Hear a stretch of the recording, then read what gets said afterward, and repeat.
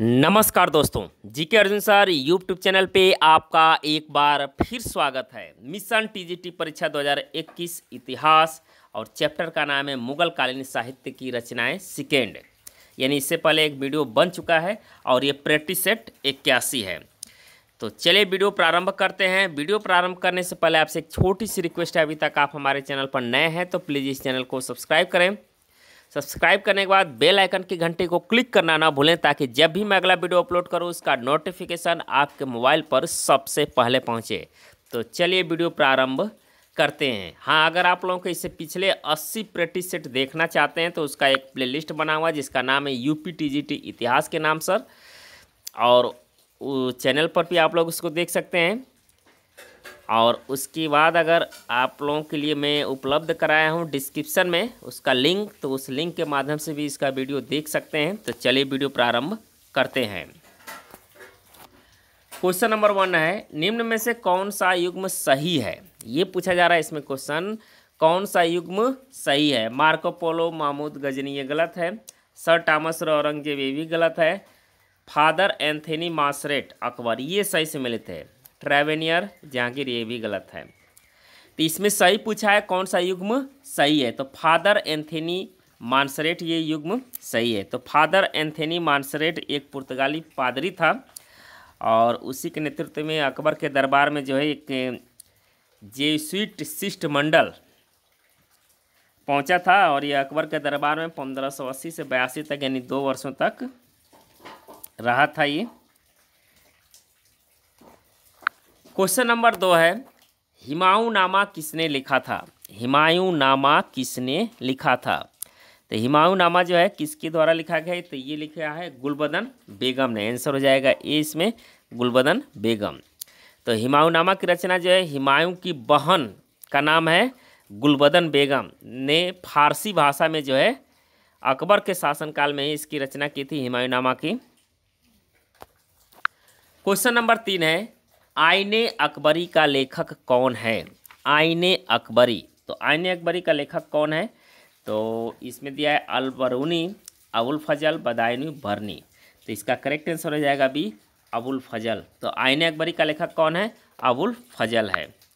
Question number चार है, वाक़यात ए बाबरी है। तो वाक़यात ए बाबरी क्या है?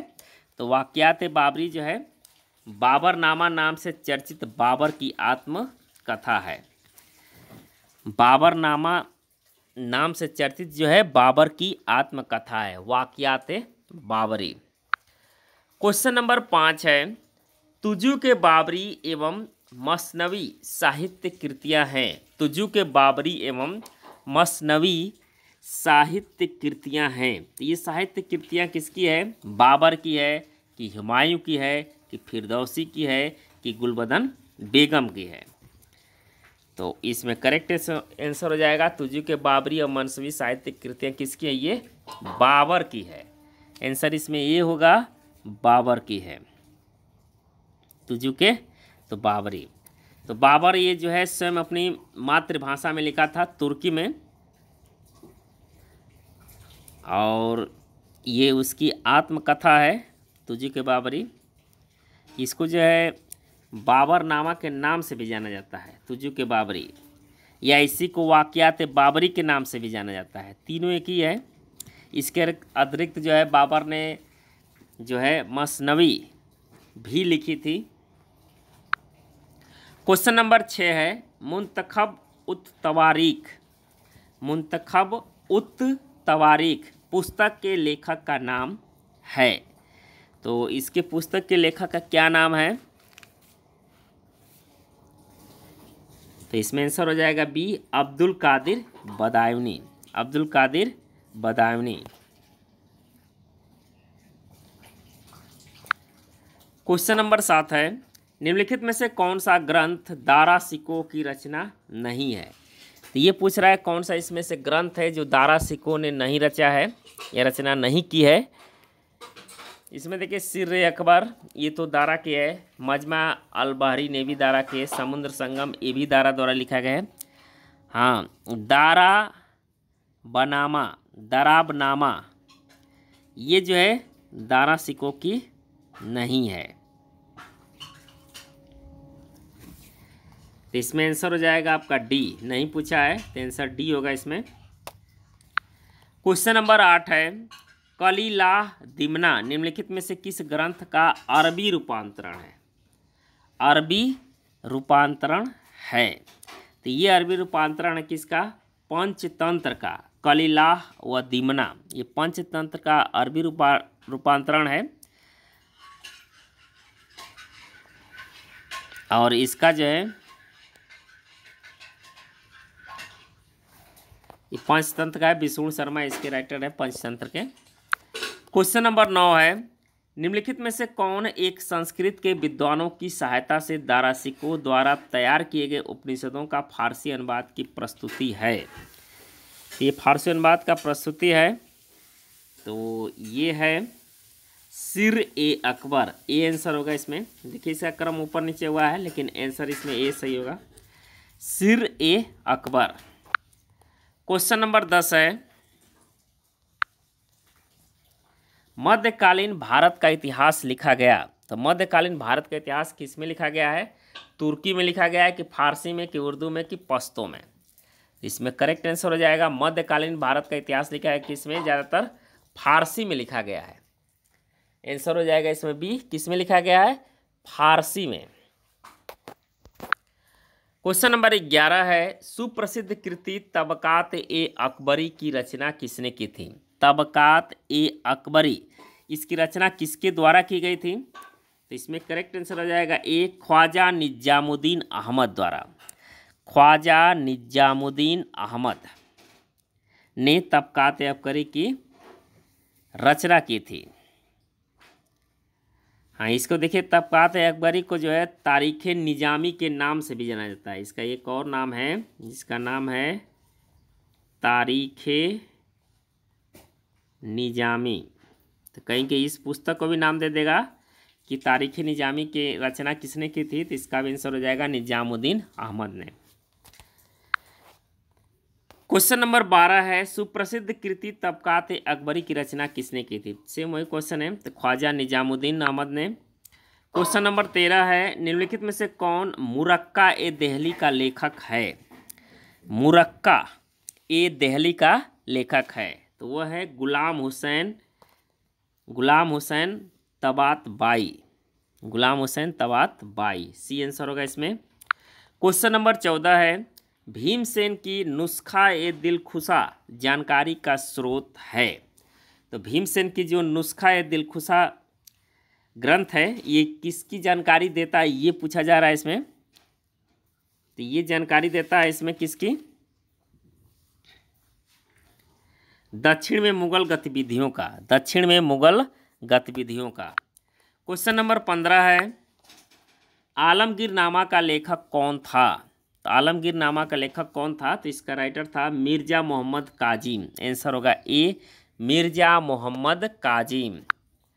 Question number सोलह है, मुगल काल में प्रचलित भाषाओं में एक रेखता थी।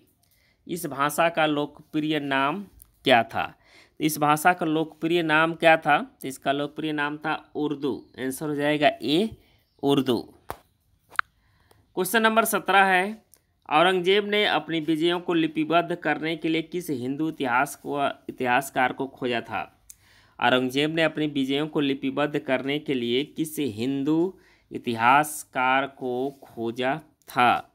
तो उस हिंदू इतिहासकार का नाम था जिसको खोजा था, वो था ईश्वरदास नागर। आंसर हो जाएगा इसमें B, Ishwardas Nagar. Question number अट्ठारह है, मुगल काल में निम्न में से कौन सा स्थान हिंदू शिक्षा का एक प्रमुख केंद्र है? मुगल काल में निम्न में से कौन सा स्थान हिंदू शिक्षा का एक प्रमुख केंद्र है? तो हिंदू शिक्षा का एक प्रमुख केंद्र है, जिसका नाम है नदिया। नदियाँ। मुगल काल में नदियाँ जो है, हिंदू शिक्षा का एक प्रमुख केंद्र माना जाता था।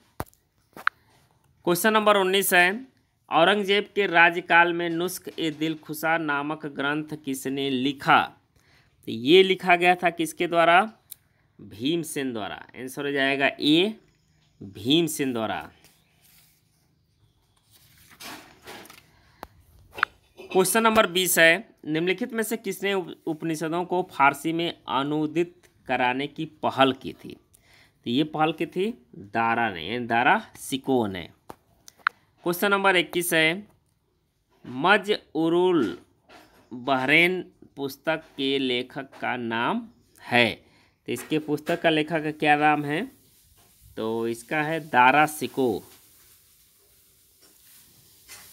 मजमऊर बहरेन, इसका अर्थ होता है दो महासागरों का मिलन या दो समुद्रों का मिलन। क्वेश्चन नंबर बाईस है। दारा सिको के प्रश्रय में किस संस्कृत कृति का फारसी अनुवाद नहीं हुआ था? इसमें नहीं पूछा है। तो ये भागवत पुराण का ये नहीं हुआ था। इसके अलावा उपनिषदों भगवद गीता योग वशिष्ठ इसका हुआ था। क्वेश्चन नंबर तेईस है। राजकुमार द्वारा, राजकुमार, दारा सिको ने किसका फारसी में अनुवाद कराया था? तो ये फारसी में अनुवाद कराया था किसका? उपनिषदों का। आंसर हो जाएगा बी, किसका? उपनिषदों का। क्वेश्चन नंबर चौबीस है, किस भाषा के शासन काल में उपनिषदों का फारसी भाषा में अनुवादित किया गया था? तो किसका शासन काल था? तो उस समय शासन काल था शाहजहाँ का। आंसर हो जाएगा डी, शाहजहाँ का। क्वेश्चन नंबर पच्चीस है और अंतिम क्वेश्चन है, औरंगज़ेब के राज्यकाल का महत्वपूर्ण ग्रंथ फुतुहात आलमगिरी किसके द्वारा रची गई थी? फुतुहात आलमगिरी किसके द्वारा रचित की गई, रचित की गई थी?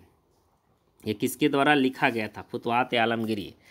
तो ऑप्शन दिया भीमसेन, ईश्वरदास, नियामत अली खां, अली मोहम्मद खां। तो इसमें करेक्ट आंसर हो जाएगा ईश्वरदास ने। ईश्वरदास ने फुतवात आलमगिरी की रचना की थी। तो ये थे क्वेश्चन आज के लिए। तो उम्मीद करता हूँ कि वीडियो आपको पसंद आया होगा। पसंद आए तो इसको लाइक करें, अपने दोस्तों के यहाँ अधिक से अधिक शेयर करें। धन्यवाद दोस्तों। जय हिंद, वंदे मातरम। मिलते हैं अगले वीडियो में।